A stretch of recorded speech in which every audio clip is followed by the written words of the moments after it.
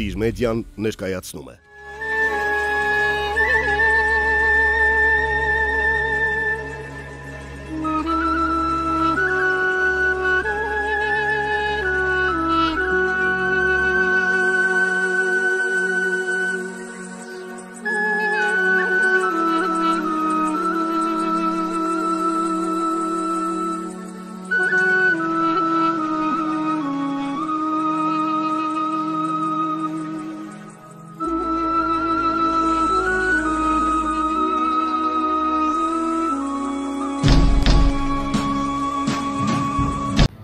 Բարև ձեզ հարգելի դիտողներ, այսօր մենք Ֆիլմեդիայի եթերում սկսում ենք երկրագործությունն ու մարդը հաղորդաշարը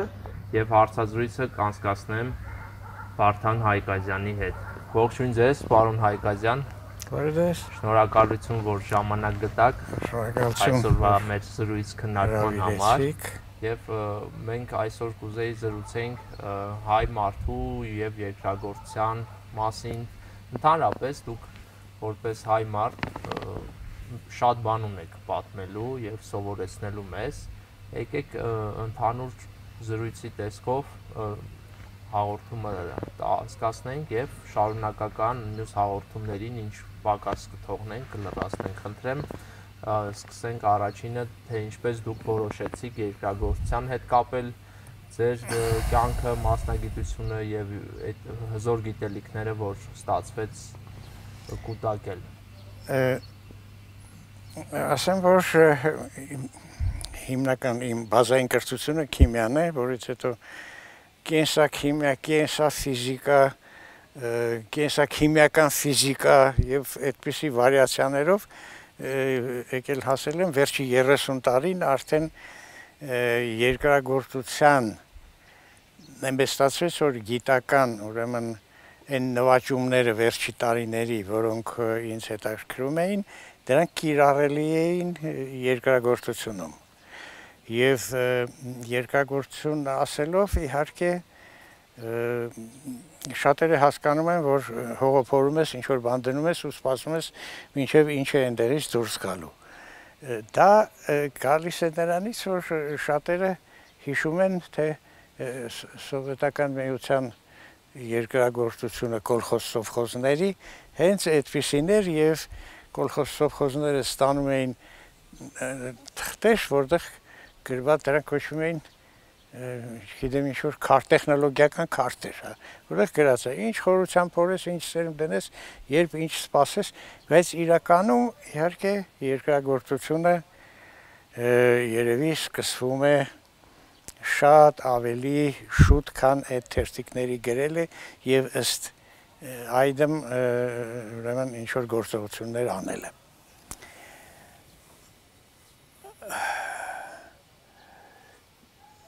Ես կուզեի մենք սկսեինք երկրագործության մասին խոսքը մեր հանճարեղ մեծ հայ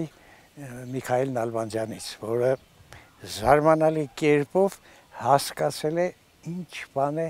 երկրագործությունը, ընդ որում ինքը հասկացել է թե ինչ բան է այսօրվա երկրագործությունը։ Պատկերացնում եք, այսինքն մեկ եւ կես դար առաջ, հա, կամ գրեթե երկու դար առաջ ինքը հասկացել է թե դա եթե մի մի որպեսի բան չանեմ, այդպես ինտրիգ ինտրիգ արեստական չստացեմ, մի անգամից ասեմ ինչն էր իր այդ տեսածը, որ ինձ զարմացրեց ինքը հասկացավ, որ այսօրվա երկրագործությունը մենք է պատկերացնենք մի բան, որ բնության մեջ է։ Իհարկե, միշտ բնության մեջ է, բայց բնության մեջ է ինչպես անտառը, որը ոչ մեկ չի մշակում։ Եվ այնտեղի հարաբերությունները ակտորների այդ բույսերի եւ կենթանիների միջև լրիվ բնական են ընթանում։ Այն դեպքում, երբ որ մենք հատկապես ը, 18-րդ դարի կեսերից սկսված մի գե- մի գերմանացի ուրեմն հնարեց գութան, որը հողը խորը վար է անում ու շրջում է, որով հորի հորի ուրեմն հիմնական դրական որակները կորչում են, իսկ մյուս գերմանացին էլ ես իհարկե հարգում եմ այդ ազգը, որը մարդկությանը շատ բան է տվել, բայց այդպես ստացվեց։ Մեկն էլ ուրեմն շատ զարմացավ, որ կարելի է աղերի միջոցով բույսեր աճեցնել եւ ասաց դե եկեք աղերի միջոցով բույսեր աճեցնենք։ Մենք պետք է ձեզ հետ մի քիչ դեգերենք, էլի, թեմայից թեմա, որովհետեւ երկրագործությունը դա մի աշխարհ է։ Դժվար, շատ անգամ դժվար ընկալելի։ Բայց երբ որ արդեն հասկանում ես ամեն բան, ուրեմն պետք է մենք համբերատար մի թեմայից կարողանանք անցնել մյուս թեման դերից երրորդ եւ եւ այդ օրգանական կապերը կարողանանք եւ այդ կապերը կարողանանք հա այդտեղ այդտեղից կարող ենք անցնել նաեւ ավելի կարևոր թեմաներից ասենք ինչի ինչի համար օրինակ Միացյալ Նահանգները ամբողջ 20-րդ դարի ընթացքում դիմադրեցին տնտեսությունների մեծացումը որովհետև շատ կարևոր բան է, որը շատ քչերի մտքով է անցնում, որովհետև այդ պարագայում ինքնարժեքը ցածր է լինում։ Եթե եթե դու փոքր տնտեսություն, մի, մի քանի հեկտար կամ մի քանի տասնյակ հեկտար նայած քու հզորությունը, քու ծրագրերը, քու ունեցած տեխնիկա, բայց այդքան։ Օրինակ ասենք թե մինչև մի ժամանակ ես գիտեմ, որ Անգլիայում ասենք եթե ընտանիքը ստանում էր հաջորդ սերունդը ստանում էր ժառանգություն, ապա ամեն ինչ կիսում էին, բայց հողը ասենք 30-40 հեկտարից պակաս աշխատում էին չկիսել։ հա։ Այսինքն մի քանի հեկտարից մինչև մի քանի տասնյակ հեկտար։ Երևի դա է։ Հիմա ուրեմն որpիսի ես իմ գիտական հետաքրություններից ավելի կենտրոնացած գամ երկրագործություն, ես որոշեցի սկսել դե parza ապ օվո ամենասկզբից ամենասկիզբն էլ դա ասենք թե ըստիս պետք է լիներ Մաքս Վեբերի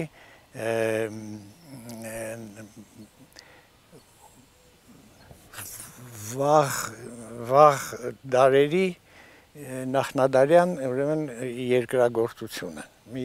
200 էջանոց մոտարապես գիրք է մի քանի լեզուներով թարգմանված ուզում եի հասկանալ ինչից է սկսվել, բայց ես կարծացի եւ չհասկացա ինչից է սկսվել, որտեվ բարդ բարդ բան է իսկապես դա հա, ասենք թե բարձ դարձավ, որ 10000 տարեկան է երկրագործությունը։ Եվ որ ասենք դեռ այդ վաղ ժամանակներից բարձ է որ արդեն հավաք հավաքելուց սնունդը հավաքելուց երբ որ սկսում են սնունդը աճեցնել, լինի դա կենթանի թե բույս, այդ ժամանակներից արդեն հացի խանութի հասկացողություն է եղել այնտեղ։ Այսինքն ով որ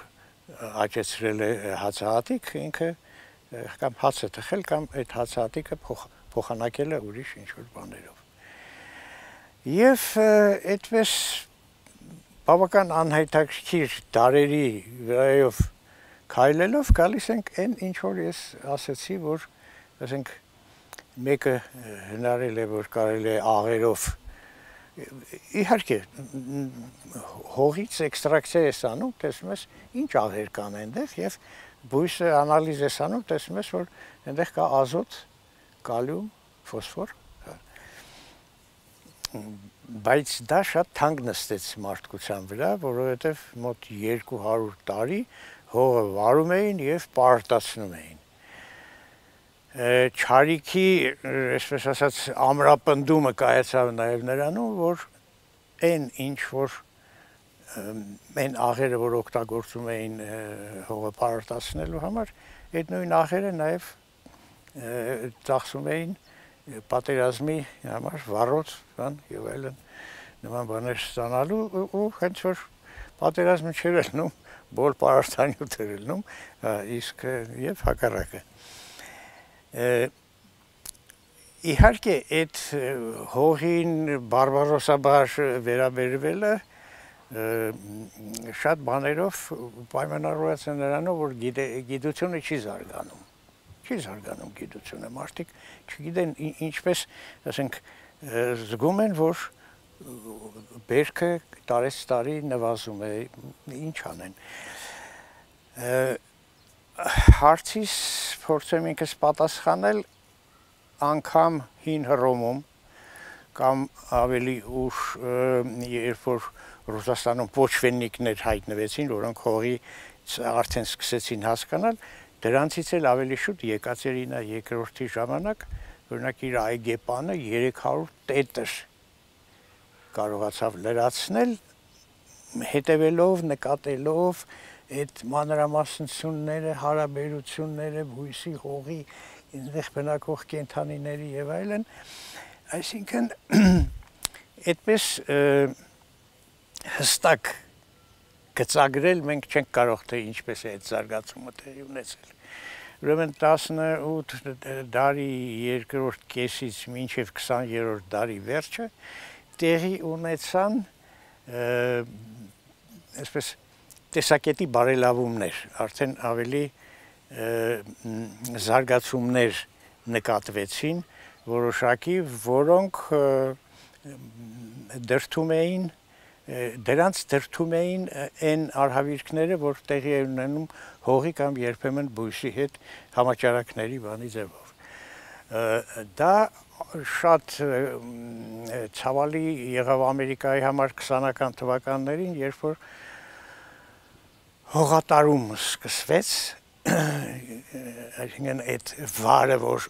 տեղի ունեցավ, խորը վարը շրջելով միաժամանակ քամիները սկսեցին տանել այդ վարած փուխր հողը եւ առաջինը դա նկատեց մի մի գիտնական, որը հայտնի գրողի ազգանուններ գրում, հիմա ես կհիշեմ, Ֆոլկներ, ուրեմն Էդվարդ Ֆոլկները հայտնի ամերիկյան արձակագիր էր եւ ֆիլիսոփա, իսկ սա ուրեմն Ուիլյամ Ֆոլկները, իսկ Էդվարդ Ֆոլկները գիտնականներ, որը գրեց էլի գիրք գրեց, բայց արդեն այդ գիրքը կոչվում էր խենթացած մաչկալը կամ հողվարողը խենթացած որովհետև երբ որ մարդ հասկանում է որ դա սխալ է տեսնում է որ տրակտորը վերցրած են գնում է փոշիա բարձրացնում այդ փոշին էլ կամին տանում է եւ բերք չես ստանում այդ մարդը համառորեն առաջ առաջինը ինքը սկսեց կիրառել անվար տեխնոլոգիան, որը տասնամյակներ անց ես արդեն իմ առաջի այցելությունների ժամանակ միացյալ նահանգներ, երբ որ մենք այստեղ ագրոգիտասփյուր համակարգներ ենք ստեղծում, արդեն ես ներկա եղա առաջի գիտական լուրջ գիտական բաներին, գիտաշողովներին, հա, որտեղ արդեն փորձում էին դա այդ բանը տարածել, բայց առաջինը ինքը այդ Էդվարդ Ֆոլկները տարածեց իր բոլոր հողերը առանց վարելու մի քանի տարում սկսեց մշակել, ապա խնդրեց, որ իրեն հող տրամադրեն, որ ինքը ցույց տա այլոց հողերում ինչպես դա կարելի է անել Եվ վերջում էլ արդեն շատ ջղայնացավ, ինքը սկսեց մարդկանց ստիպել, որ թողնեն ինքը ինքը ցույց տա արդեն երբ որ դու գիտես որ դա հրաշքը որտեղից է ծնվել, կուզում ես արագ տարածես։ Դրա հետ մեկտեղ այլ տեխնոլոգիաներ կամած սկսեցին զարգանալ Անգլիայում, Հնդկաստանում, առանձին մարդիկ դրանցով զբաղվեցին Լորդ Լեդի Բալֆուրը այդ երկուսն էլ հետաքրքիր ուրեմն փորձեր դրեցին տեխնոլոգիաները ճշտելու համար մինչև գերմանացիները ավելի 60-ական 20-րդ դարի արդեն 60-ական թվականներին հստակ գտան մի հատ շատ կարևոր բան, շատ կարևոր բան, որը այսօր վարվող մշակվող հողերի 80%-ում անտեղյակ են այդ մասին։ Այն, որ հողը պետք է ոչ թե պարարտացնել, այլ բնակեցնել։ Պարսվում է։ Ումով ինչով բնակեցնել, ուրեմն 4 տիպի միկրոօրգանիզմներ։ Դրանք հողային ջրիմուռներն են, ցածրակարգ սնգերը, բակտերիաները, որոնցից ամենակարևորը դեստրուկտիվ բակտերիաներն են, եւ դրանց ավելի, այսպես ասած, սարտ տեսակը ակտինոմիցետները, որոնք ջարդում են այն բուսական մնացորդները, որոնք չի կարող բակտերիան, որոնց ախից բակտերիան չի կարող գալ։ Եվ այդ ակտինոմիցետների միցետներով պայմանավորված երբ որ հողը վերցնում ես նոր վարած հողը հոտ ես քաշում, այդ անուշոտը այդ ակտինոմիցետներն են արձակում։ Այդքանը իմանալով արդեն սկսում ես հողի հետ այլ կերպ վարվել։ Արդեն հասկանում ես, որ հող վարելը նաև բարբարոսություն է, որովհետև դրանք բոլորը իրանց տեղը գտել են հողում Հա, իհարկե բակտերիաների մեջ ամենակարևորը ազոտ ֆիքսող բակտերիաները, որոնց եթե դու լավ ես նայում, արդեն պարարտանյութը ավելորդ է դառնում։ Եվ եթե ուրեմն կարողանում ես այդ համատեղությունը հողում պահպանել, ապա պարարտացնելու փոխարեն պարզապես աշխատում ես ինչ որ ինչ որ քանակությամբ բուսական մնացորդ թողնել հողում։ Շատ անգամ արմատը, արմատային համակարգը բավարար է լինում։ Բայց այդ դեպքում նաև պետք է հետևես, որ օգնես, մի քիչ օգնես, ավելացնես, դա կանաչ պարտացում է կոչվում, ես որ ասեցի, հին հռոմում անգամ դա կիրառվել է։ Ուրեմն կանաչ պարտանյութը դա ազոտ շատ պարունակող ազոտի միացություններ շատ պարունակող բույսերն են, դրանք երեքնուկներն են, մանանեխներ, մեծ երևի մի քանի տասնյակ ուրեմն սերմեր են, որոնք որոնց ճարելը, հայթայթելը դժվար բան չի ցանում ես եւ ջրային ջրիմուր բանի հողային ջրիմուրները նաեւ դրան են բանանում նպաստում, երբ որ դու, ասենք, բերքը տեմպեսին է, որ քիչ են մնացել բաներ, քիչ քանակությամբ են առաջացել բուսական մնացորդներ հողում, այնպես այնպեսի հնարքներ կան, որ այդ խթանելով իհարկե կանաչ պարտացումը, որ զանգվածը ավելանում է Պարոն Հայկազյան, ձեր խոսքում ասացիք, որ երկրագործության հետ կապված խնդիր է առաջացել, բերքի պակաս է ստացվում։ Իսկ դա դրանից չի, որ քիչ մարդ է ավելի մշակում հողը փաստորեն։ Մարդիկ քաղաքներում են ավելի շատ սկսել ապրել եւ քաղաքում ապրող մարդը չի մշակում հող։ Այսինքն, եթե մենք այսպես այդ օրգանական կապը ապահովենք, մարդիկ կարողանան եւ քաղաքում ապրելով փոքր հողակտոր ունենան քաղաքին մոտ մի խոսքով այն երկրում որտեղ իրենք ապրում են եւ չկորցնեն այդ կապը այս խնդիրը այդպես բնական ձևով գուցե կլուծվի Է շատ լավ հարց է, ընդ որում ինքը շատ այս հարցի շրջանակներում կարելի է մի քանի ուղղություններով ընդլայնվել Դրանցից մեկը մենք արդեն մի փոքր ոնց որ թե այդ մասին խոսեցինք, դա ինքնարժեքի խնդիրն է։ Կա մի արատավոր սխեմա, որը աշխատում է գրեթե բոլոր երկրներում։ Մի կողմից փոքր հողակոտրոնների վրա աշխատողները, ես Միացյալ Նահանգներում տեսել եմ, ասենք, հիմնական մասը, այնտեղ հնարքներով աշխատողներ էլ կան, ասենք թե մեր բանի հայաշատ Կալիֆոռնիայից, ասենք մարդիկ գալիս են մեծ քանակությամբ բան են երինջներ են առնում հարյուրներով կամ հազարներով, հա։ Ուրեմն եւ թողնում են այդտեղ Օհայո, Կանզաս բան այդ նահանգներում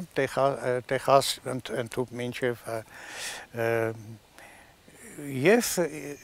այդտեղ աճեցնում են, հետո սպանդ տանում են, վաճառում են, շատ սխեմաներ կան, բայց հիմնական հիմնական սխեմաները նա է որ ասենք մի քանի ֆերմերներով հարևաններով միացնում են իրանց այդ կոնսոլիդացումը ու կոոպերացումը երկրագործության մեջ շատ կարևոր բաներ են, հասկացողություններ են շատ անգամ դրանք վանում են մարդու հետ, որովհետև կոլխոզ, կոլխոզ, սովխոզ են հիշեցնում, բայց դրանք կարևոր այդ այդ կոնսոլիդացիումը շատ կարևոր է, երբ որ ասենք հատկապես դու հասկանում ես թե ինչպես կարելի է մարդկանց շահագրգռել, որ իրենք միասին աշխատեն։ Երբ որ իրանք հողերն են միացնում, դա հիմարություն է ստացվում, հայերը դա չեն էլ սիրում, արտելի նման ինչ որ բան է ստացվում եւ անարդյունավետ է։ Այ այստեղ մեզ մոտ կոոպերատիվ շարժման Վարդան Համբարձումյան ուրեմն անունով մի լավ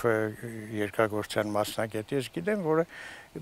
շատ նոր ձևով հասկացավ կոոպերացիումը ինչպես կարելի է անել որ հայը իր հողը աղբորնել չի տա, որ միասին մշակեն ինքը կմշակի, բայց գյուղի խնդիրները, հողմշակողների խնդիրները իրանց միավորում են։ Սերմի հարցը, բանի ուրեմն ֆինանսների իրացման եւ այլն հատկապես իրացման մասին մենք երևի մի ինչ որ մի մի զրույցել առանձին դրան նվիրենք ու այս հարևաններով որ ամեն մեկը իր ասենք մի հարևան է կարող է 40 թվի Ջոն Դիր ունի իսկ մյուսը ժամանակակից տրակտոր կամ կամ բանը երրորդն էլ ասենք բան ունի կոմբայն ունի հա։ եւ դրանք միանում են մեկը մյուսին օգնում է չեն վարձում լրացի այսինքն այսինքն տեսնում ես որ ծախսերը ոնց որ ընտանիք աշխատի այդ դա մի ծայրահեղություն չասենք դա նորմային մոտ բան է ծայրահեղությունը նա է երբ որ հողի վաճառքը գնում է արդեն շատ ինտենսիվ, տնտեսությունները հազարավոր հեկտարների են հասնում եւ այստեղ հող մշակելը դառնում է հարստացման նպատակ։ Հա, հա, դա պետությանը ինչ որտեղ օգուտ է, որովհետեւ ինքը իր բարենային խնդիրները լուծում է մի քանի անձի հետ, մի քանի անձի հետ, հա գլուխ չունի, ասենք հարյուրավոր ֆերմերների հետ պայմանագիր կնքի, գնի պահեստավորի եւ այլն դարձնի հաց, պահածով եւ այլն, հա։ Հիմա այդ այդ ներբությունների մեջ մեջ պետք է ամեն մի երկիր հասկանա թե ինքը ինչպես է կազմակերպում իր գյուղը։ Ինչ է զիջում եւ ինչը հա։ օգտվում։ Ես ես ես երևի երևի ճիշտ նա է որ կամ կամ չլինի, այլ համ-համ լինի։ հա։ Փորձը ցույց է տալիս, որ հիմա կան ընկերություններ, որոնք արդեն մի քանի 100 հեկտարի վրա, 1, 2, 300 հեկտարի վրա միրգ են աճեցնում, հատկապես օգտագործելով բաները։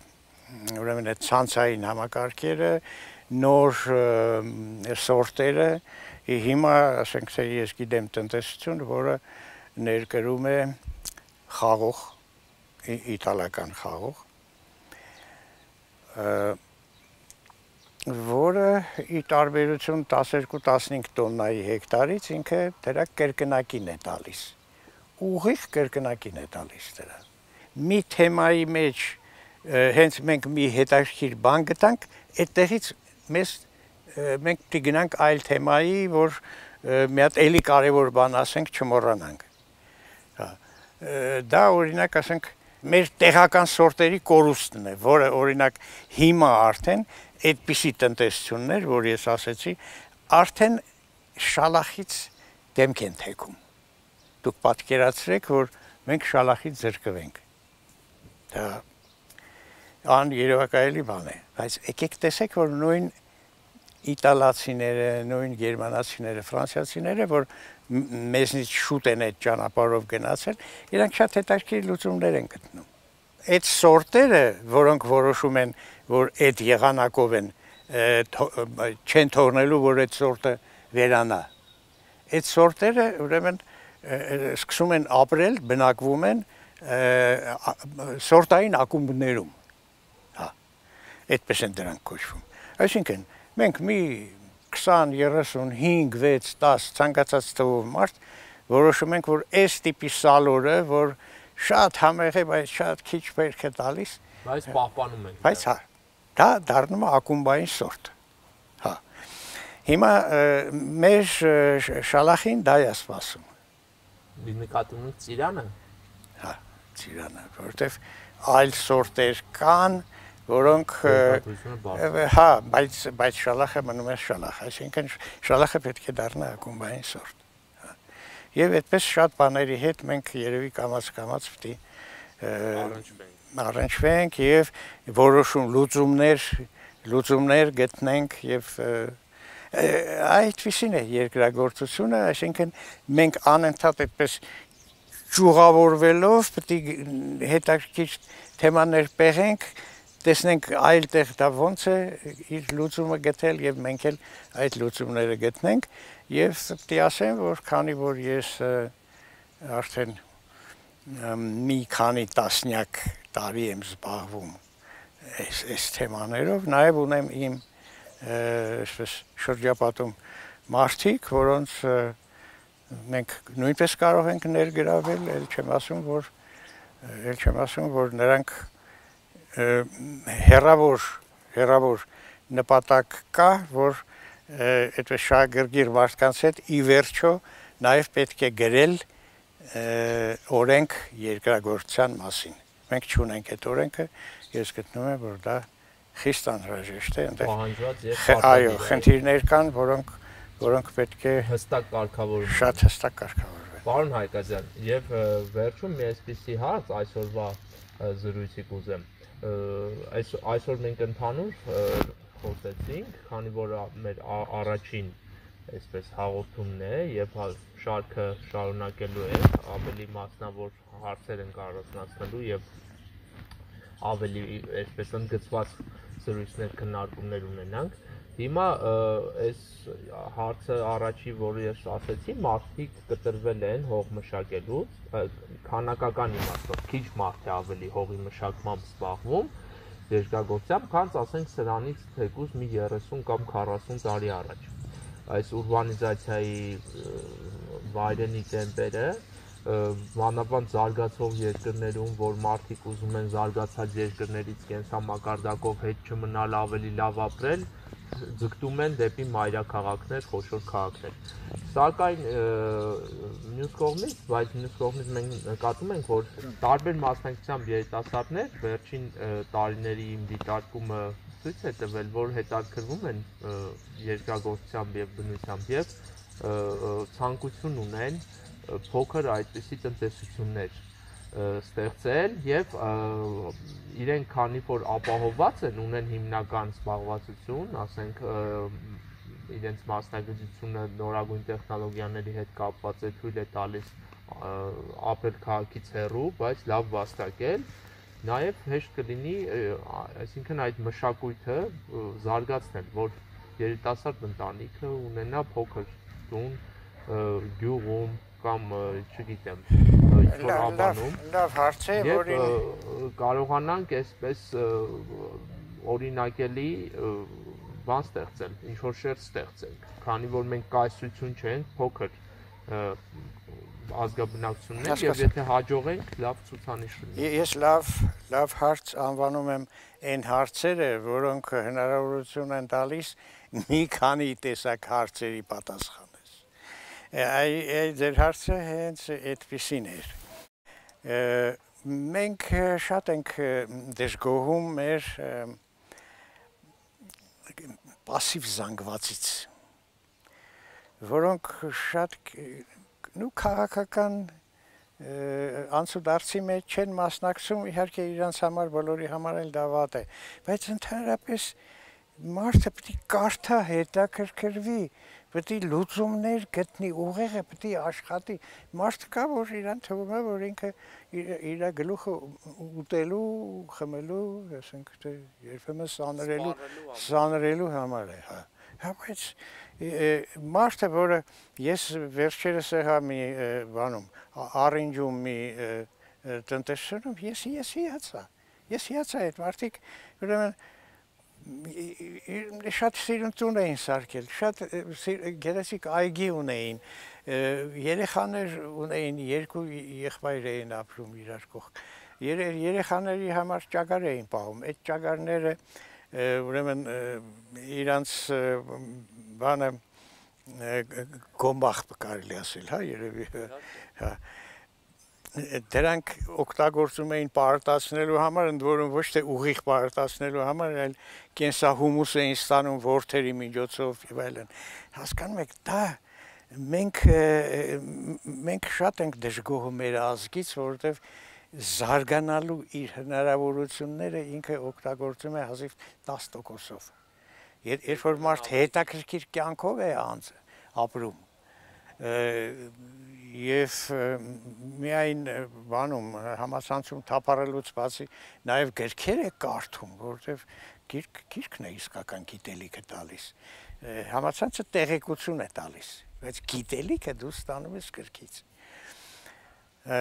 Եվ ամառանոցանման բան ունենալը այդպես օժանդակ տնտեսություն ասեմ, դա հանգստի վայր է, դա շատ շատ բազմա բազմա շնոր ես կասեի, բան է, ուրեմն օժանդակ մեր կյանքում երևույթ է հա որը եւ դու ժառանգում ես քո երեխաներին, որոնք արդեն սեփականության դա էլ է ազնվացնում սեփականությունը քեզ ավելի վստահ է դարձնում քու վաղվա օրվա նկատմամբ հա ոչ թե գողացած բանկում արտասահմանյան բանկերում պահած գումարներն են դա դա շնոր է որը դու տալիս ես քու սերունդներին եւ հիմա արդեն կա լավ գրականություն որը կարելի է կարդալ եւ գրագետ վարել այդ այդ տնտեսությունը եւ ինֆրակառուցվածքները գյուղատնտեսությունը երկրագործությունը ես ավելի Միքայել Նալբանդյանական ձևն եմ դերադասում ինքը ունի մի քանի կարելի ասել առանցքային կարևորության բաներ, հասկացողություն։ Դրանցից մեկը օպտիմումի օրենքն է, որ միշտ, քանի որ շատ է զանազան տիրույթը, շատ մասնակիցների հետ ես գործ ունենում, ուրեմն օպտիմումը պիտի պահպանես եւ հավասարակշռությունը դիվերսիֆիկացումը երկրագործության համար շատ կարևոր է։ Միևնույն խնդիրը աշխատի տարբեր եղանակներով լուծել։ հա։ Եվ իհարկե մեր երկրագործության այսօրվա բավական տխուր վիճակը պայմանավորված է նրանով, որ մենք վատ թե լավ կոլխոսով խոզների հետո, այդ համակարգից հետո, որոնք ինֆրա կառուցվածքներ էին ես միշտ գերադասում եմ հիշեցնել, որ ինֆրա երբեմն ենթակառուցվածք, ինֆրակառուցվածք նույն բանն են համարում, բայց ինֆրակառուցվածքը դա գերկառուցվածքն է, ոչ թե ենթան, էլի, հա։ Այդպիսի գերկառուցվածքներ, ասենք թե բաներն էին, կոլխոսոխոզներն էին ինչ որ իմաստով կամ կամ ագրոգիտասպյուր համակարգը, որը մենք ամերիկացիների հետ ստեղծեցինք, որը մի 10 տարի պահեց մեր երկրագործությունը, հա։ Եվ հիմա հասունացել է իմ եւ իմ համախոհների մոտ մի այդպիսի ուրեմն մոտեցում, որը մեզ հնարավորություն կտա, որպիսի մենք ունենանք կայուն կոնցեպտուալ այո այդ այդպեսի ինֆրա կառուցվածք որ որը որը կլինի եւ կտուր եւ գետի եւ գետին եւ եւ ամենակարևորը հնարավորություն կտա, որպեսի մենք ամենացավոտ կողմերից մեկը երկրագործությունում նա է, որ գյուղացին չարշարվելով կոպեկներով է վաճառում իր արդյունքը։ Այդ իմ ասած բանը, որի մասին մենք երևի մի քանի զրույց հետո վերջին ավելի մոտ դրա վրա կառնենք, դա հնարավորություն կտա հնարավորինս բարձր ավելացած արժեք հաղորդել գյուղատնտեսական ապարանքին մինչև շուկա հանելը որտեվ շատ ցավոտ երևույթ կա հացահատիկ մշակողների համար հատկապես, որոնք արդեն վերքահավաքի ժամանակ այնքան են ան միջոց մնում, որ բունկերից մի անգամից հացահատիկը վաճառում են 70 դրամով, որը փող ունեցողը տանում 100 մի քանի ամիս սպավում է ու 100 դրամով վաճառում է։ Ну դա մի քանի տարի առաջվա գումար եմ ասում, հիմա չգիտեմ ինչքան է։ Այ անգամ ռուսները, որոնք հսկայական գումարներ են ծախսում իրանց երկրագործության վրա, հսկայական, բայց դա 3/4-ը գնում է սղոցելու վրա։ Պիլի, պիլից բաբլո, հա անգամ իրանք օրինակ այսպիսի բաներ են մի երկու տարի առաջ սկսեցին արդեն կիրառել հացահատիկը դենեղ 100 միլիոնը արդեն անցել է չնայած շատ անշնորհք են աճեցնում հացահատիկը շատ անշնորհք են աճեցնում այսինքն մի քառորդը հազիվ մինչև բանի ապրանքային ծորեն է մնացած արդեն ֆուրաժ է Այսինքն մենակ անասունին կարելի է տալ կամ վաճառել Հայաստանին, բայց ասել որ դրա հետ դի ամեն ասենք թե պարկ ծորենին է մի կիլո սոդա, չգիտեմ, չգիտեմ ինչ խառնես, որ հացի նման ինչ որ բան ստացվի ինչևէ, ուրեմն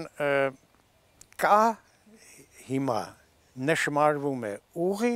որով գյուղացին էապես այսպես կարելի ասել, որ հնարավորություն կա նրա մեջքին կանգնելու, որպիսի ինքը բազմապատիկ իր արդյունքը կարողանա ավելի շահութաբեր շահութաբեր վաճառել։ հա։ Եվ եւ դրանով նաեւ կլուծվեն շատ վերամշակման եւ իրացման եւ իրացման հետ կապված շատ կարեւոր հարցեր Շնորհակալություն պարոն Հայկազյան այսօր մենք զրույցը այսքանով կամանապակենք Սիրելի դիտողներ, հիշեցնեմ Տիզ մեդիայի եթերում մեր երկրագործության մասին հաղորդաշարի անդրանիկ թողարկումներ, կհանդիպենք մեր հաջորդ հաղորդմանը։ Շնորհակալություն։ Ինչ հանդիպում։